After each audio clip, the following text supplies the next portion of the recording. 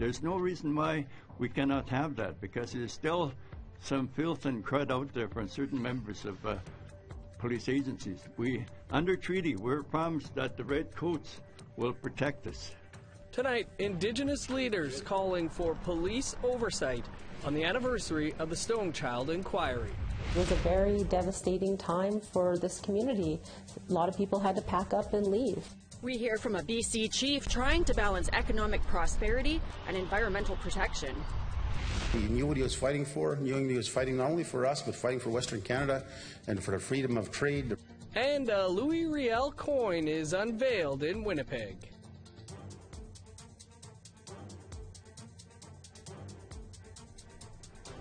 Good evening. Welcome to APTN National News. I'm Dennis Ward. And I'm Melissa Ridgen. 15 years ago, an inquiry into the death of Neil Stonechild looked at the serious concerns of police abuse in Saskatchewan and led to the firing of the last two police officers who saw him alive.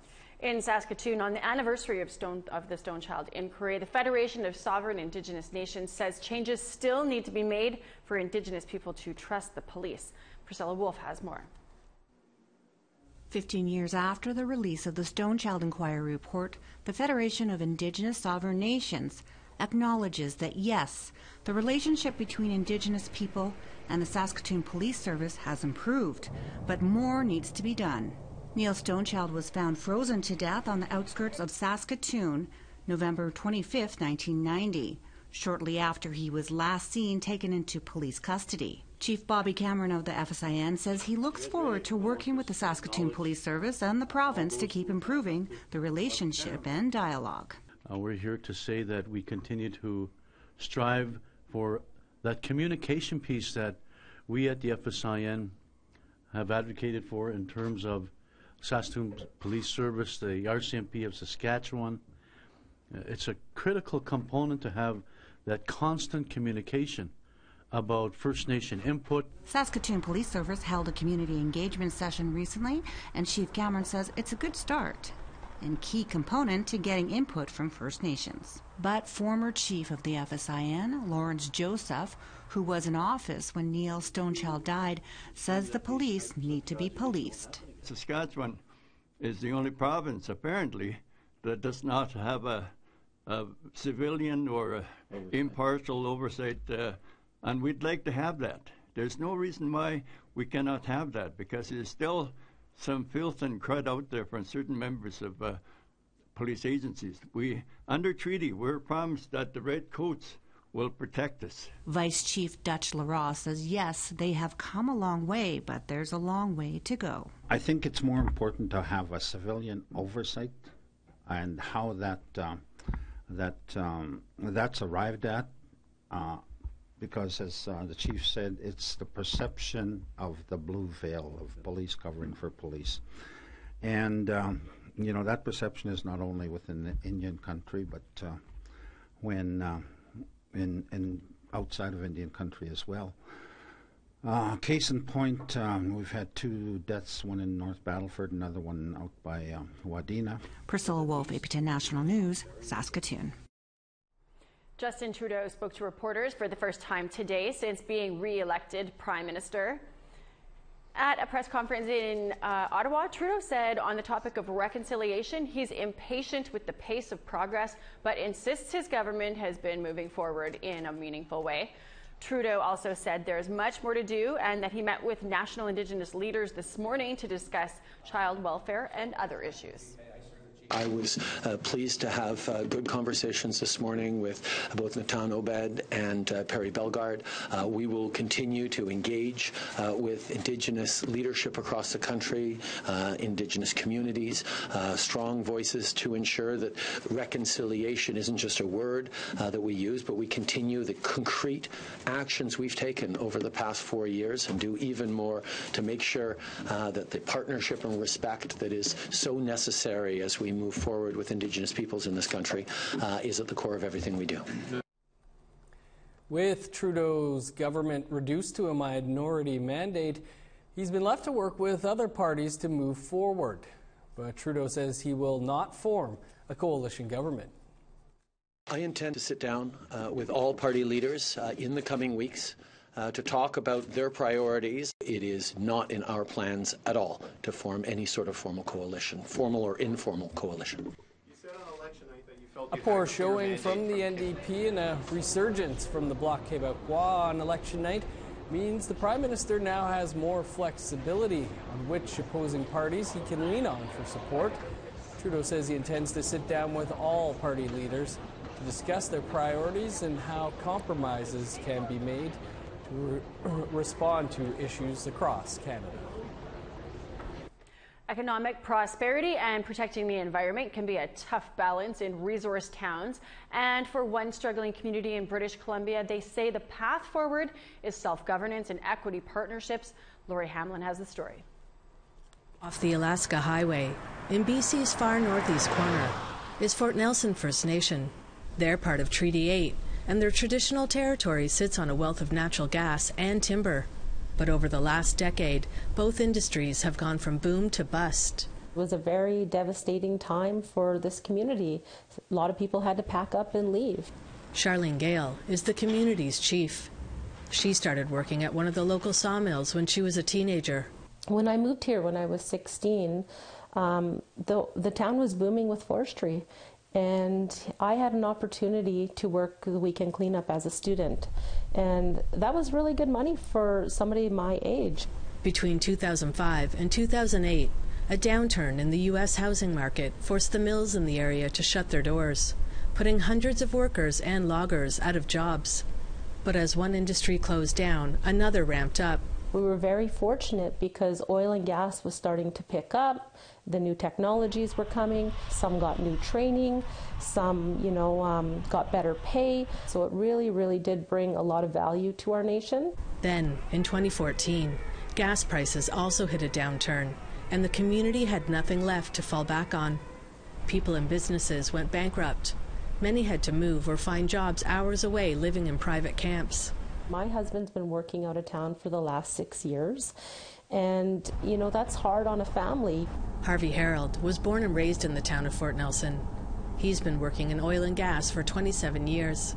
Harold says he's one of the lucky ones because he still has work in his hometown. My family has been here since 1932, so we're one of the pioneering families of this community, and it's it's my home. I, I love it here. Harold explains that the area sits on massive amounts of natural gas that could provide Canada with heat for a hundred years. This plant is capable of uh, producing a billion cubic feet a day of gas, and right now I think they're at 100 million. So they're only at one tenth of what this plant can produce because of the falling gas prices due to the American market and their gas production going up. There is no market in North America for our gas. That's why the LNG is so critical for production in the north is because that gives us another customer to sell our gas to. But Fort Nelson's gas is not part of the new LNG Canada project. The 670 kilometre pipeline will bring fracked gas from BC to the coast and then ship to Asia. The cost of trucking Fort Nelson's gas, almost five hours south to the proposed Coastal GasLink pipeline, is too expensive. It's kind of sad that there is so much gas here, and like with the market crashing in Canada, it's actually booming in the States. So they have less regulations than us. And if you came up here and tried to do what they did down there, it, it would never be allowed. Chief Gale says striking a balance between environmental stewardship and economic prosperity is top priority for her people. The Fort Nelson First Nation has many reserves. This is the main reserve, but we have people that still live on the land. They never got pushed off by the Indian agent and they continue to practice our traditional ways. We will never, ever, ever um, give up any of that just for a few dollars. A new community forest jointly managed by Fort Nelson First Nation and the municipality, announced last summer, may be exactly what the area needs to bring it back to life. But to maximize the benefits, the chief wants to reopen one of the mills and buy equity in the project. People don't want to bring our material for to be processed somewhere else. It needs to be processed in, in the town of Fort Nelson. Chief Gale, who is also the chair of the First Nations Major Projects Coalition, says in order for First Nations to succeed, all governments must recognize the benefits of self governance and create effective partnerships. First Nations really want to be involved in equity positions for major projects over 100 million occurring within their territories. And if we're involved in day one, we can help make projects be successful. And I think it's important that government and industry understands this, that the way we're thinking is changing, the way we're doing business is changing, and the way we want to be involved is changing. Lori Hamlin, APTN National News, Fort Nelson First Nation. Still to come, we'll speak with Kanahus Manuel about her arrest that has left her with a broken wrist. But first, here's a look at Thursday's weather forecast. Starting on the east coast, sunny and 16 for Halifax, 15 under sunny skies in Charlottetown.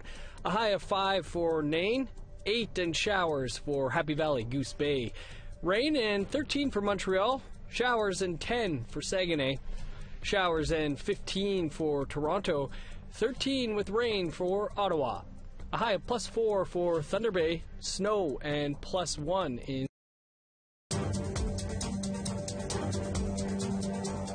Welcome back. Last weekend, Kanahus Manuel was arrested in what she and her lawyer say was an excessive use of force by the RCMP. She and her brother in law, Aisha Jules, are members of the Tiny House Warriors. They were in northern BC protesting against work related to the Trans Mountain Pipeline. Kanahus joins us now from Kamloops. Kanahus, thanks for joining us. Uh, what were you doing when your encounter with the RCMP officers happened? Um, we were living and occupying our traditional territory at Moonbeam Creek and unceded Secwepemc territory. We're with Tiny House Warriors, and our mission is to stop the Trans Mountain Pipeline. Um, on that Saturday morning of my arrest, um, we had seen some illegal work that was happening on the highway, and we had told them no, and it's one of our rights to give no consent to unwanted development in our territory. And what happened after that resulted in the RCMP coming to the site, slamming me down, breaking my wrist, cuffing me, shackling me, and at the end denying me medical attention for hours, denying me um, my lawyer call for hours. Um, what happened was pretty well in custody torture. Yeah, can you tell us more about so what did take place when you were taken into custody? Um, on on Saturday, October 19th, myself and Tiny House Warriors are occupying our traditional territory in the path of the Trans Mountain Pipeline. This is the second reclamation of our lands uh, through Tiny House Warriors and the Secwepemc Women Warriors. We are taking land back and we are stopping a pipeline every right we have as Indigenous people to stand and exclusively use and occupy our lands. Um, there's many different contractors that have contracts for Trans Mountain Pipeline, and they're all acting illegally without the consent. Indigenous people throughout this whole Trans Mountain line, throughout 1,152 kilometers of pipeline here in unceded BC, um, have said no, there's no consent for this Trans Mountain Pipeline to be built yet they continue to push forth with illegal construction. We are located on Highway 5 in between Blue River and Valemount, and we see daily the amounts of pipes, heavy machinery going north, stockpiling and get ready to just plow this pipeline through. And it's scary, and it's scary the amount of police presence that took place and the escort that I had, the heavy armed escort in order for me to even get any type of medical attention. There was around seven RCMP with me at the Royal Inland Hospital as my ankles were shackled um, and a wrist, a, a, cast on my wrist and arm. Um, it's a it's a full cast all the way up to my to my elbow. This is a hard cast. Uh, they broke my wrist. Um, right now, the RCMP are denying any injury to, to myself, and, and this is the proof. I have proof of my injuries. Um, my wrist was broken, my my arm, my back. This is a six foot five massive white male RCMP officer that purposely attacked me in order to injure my arm, knowing that I am a traditional tattoo artist, knowing that I'm a traditional midwife. I need my hands. We're artists on the front lines. We need our hands to continue to do our work. Kanahus, this is uh, certainly not your first arrest. So how will it affect your resisting the Trans Mountain Pipeline? Our our intention is never to be arrested. We never want to be held captive by a colonial oppressive police force. We know what happens at the hands of the RCMP as Indigenous people. That's not our intent. Our intent is to educate our people about Indigenous land rights, that we have every right to occupy our lands off of the Indian reserves, to assert our title, to exclusively use and occupy our territories, to say no to development, and choose our own leadership in doing so. And so what we're saying here is there needs to be change in this country of Canada. If reconciliation is real in Canada, it means land back to Indigenous people. You can't have reconciliation in Canada without recognition and implementation that we hold title to our lands. Underlying radical title is Indigenous title here in BC, all across the country of Canada. Kanahus, we'll have to leave it there. Thanks for joining us. Thank you. Today on In Focus, we discussed what the federal election results mean to Indigenous issues, and we heard from newly elected 25 year old MP for Nunavut, Mumilaaq Qaqqaq. We also went to Ontario, though, where a high school feud turned violent recently, resulting in an altercation between an Indigenous student and one from London's Middle Eastern community. From there, it spiraled to include others, and in the end resulted in Oneida and Chippewa of the Thames setting up checkpoints at entrances to their communities after threats had been made online to burn them down. We discussed what's being done by these communities to uh, get people involved to move forward respectfully. For me, myself personally, the school didn't really do too much. They're actually still to this day haven't done anything at all. The provincial police, the Ontario provincial police, the London police still haven't done nothing to this day. Um, as far as I understand it, it's between a jurisdiction issue is why there was no charges laid on the actual threat in mm. the first place. And uh, I just I just think that there's there's nothing being done from the school or our um, elected council from Oneida. Nothing has been done. They downplayed the whole issue, sent all our kids back on Monday after we made a big deal the police and the band council sent letters out and stuff like this, and then all of a sudden Monday, the kids are allowed to go back in school. With nothing had took place within that time, even still to this day as we're speaking now, all they come up with is they want to meet with uh, with their their their families, they want to meet with our kids' families, they want to meet with the school. Like as far as I understand, that should have been done over a month ago when this issue actually first started. And as far as the understanding reconciliation, these individuals um, have to understand they're visitors to this land. This is our land. They are also visitors to this land. Just like anybody else under the two-row wampum, they had to adhere to these issues that we have. Just to, to begin this conversation in terms of what steps we can take to, to move forward, uh, we do acknowledge that we are all treaty people and that we are all uh, living on lands um, that have been taken unjustly. Uh, and uh, this was actually uh, part of one of my sermons that I delivered um, two weeks ago to indicate that we do have an obligation towards the indigenous peoples of this land, mm-hmm. um, and through some of the uh, recommendations of the Truth and Reconciliation report that was published in 2015. Mm-hmm. Um, and so I did speak uh, to this matter publicly uh, within my community just to indicate the need to be able to understand more about some of the injustices that have taken place um, and that we, we need to take steps towards reconciliation.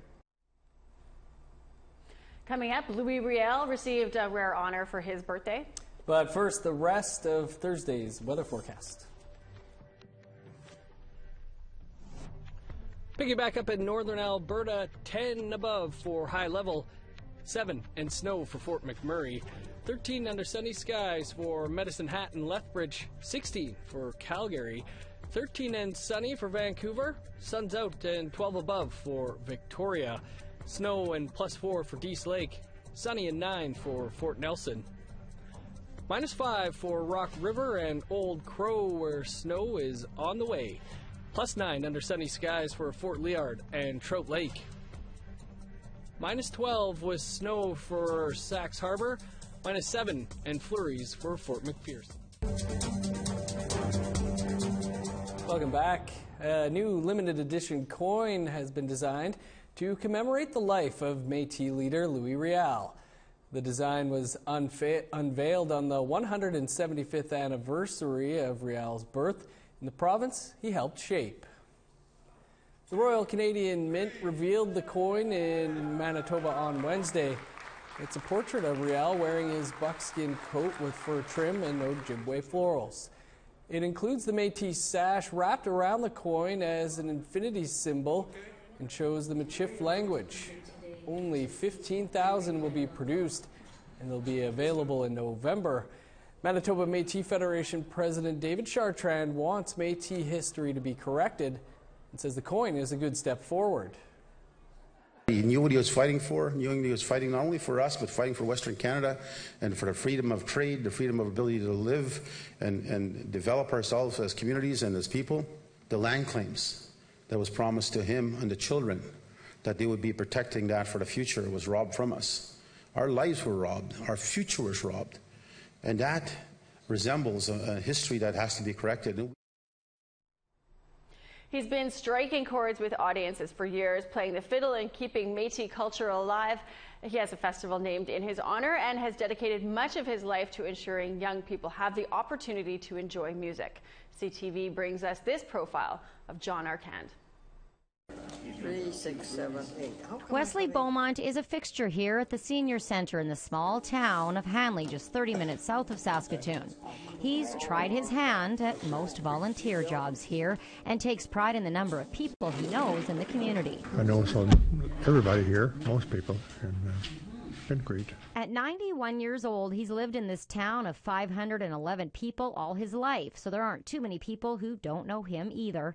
He's here at the Senior Center a lot. When he's not playing cards or shuffleboard, he can be seen setting up tables for events like Christmas parties and getting coffee ready in the morning.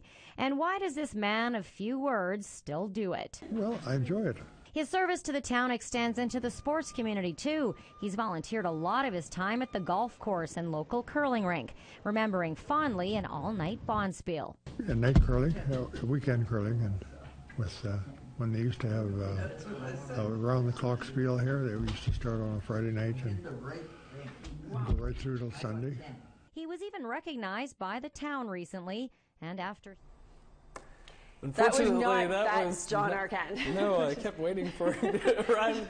The, the, Technical glitch, yeah, that but no, that that story. was not John Arcand. We'll uh, hopefully have that story for you tomorrow. Hopefully. That's your APTN national news for this Wednesday. For much more, visit our website, aptnnews.ca. And if you missed today's In Focus, you can catch it on Core airing tomorrow morning at 11 a.m. Central. I'm Melissa Ridgen. Thanks for tuning in. And I'm Dennis Ward. Have a good night. We'll see you back here tomorrow.